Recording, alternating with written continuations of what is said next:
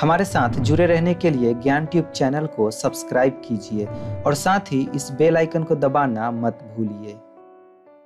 क्या आप भी एम एक्स टकाटक पे अपना नेम चेंज करना चाहते हैं? क्या आप जानना चाहते हैं कि एम एक्स टकाटक पे हम अपना यूज़र नेम या फिर नेम कैसे चेंज कर सकते हैं? तो फिर इस वीडियो को देखते रहिए। हेलो, नमस्ते, मेरा नाम है सनोज। तो चलिए इसे देखने के लिए चलते हैं हम अपने फ़ोन पे।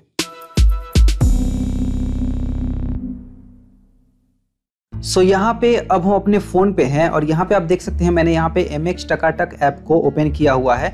यहाँ पे हम देखने वाले हैं कि हम इसमें अपना नेम कैसे चेंज कर सकते हैं जो यूज़र नेम होता है उसे कैसे चेंज कर सकते हैं। तो इसके लिए तो सबसे पहले आपको अपने फ़ोन में एम एक्स टकाटक को ओपन कर लेना है। उसके बाद नीचे मी का जो ऑप्शन दिख रहा है यहाँ पर आपको क्लिक करना है। उसके बाद ये इस तरह से खुल जाएगा। यहाँ पे आप देख सकते हैं यहाँ पे अपडेट आ गया है और यहाँ पे एक एडिट का ऑप्शन दे दिया है। अगर आप में ये ऑप्शन नहीं दिख रहा है तो फटाफट से जाके आप प्ले स्टोर से एम एक्स टकाटक को अपडेट कर लीजिए। अपडेट करने के बाद सारे नए फीचर आप में ऐड हो जाएँगे और उसके बाद यहाँ पे आपको ये पेंसिल का ऑप्शन दिखने लग जाएगा।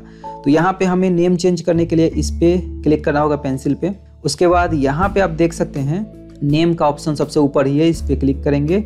और यहाँ पे आपको जो भी नेम पसंद है, वो यहाँ पे आप डाल सकते हैं। जैसे यहाँ पे मैं सनोज डॉट ऑफिशियल डाल देता हूँ। उसके बाद ऊपर सेव पे क्लिक करते हैं और ये देखिए नेम जो है हमारा यहाँ पे सेव हो चुका है।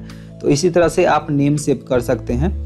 और यहाँ पे आप देख सकते हैं ऊपर में हमारा नेम जो है वो सक्सेसफुली यहाँ पे चेंज हो चुका है। तो इसी तरह से आप एम एक्स टकाटक में अपना नेम चेंज कर सकते हैं।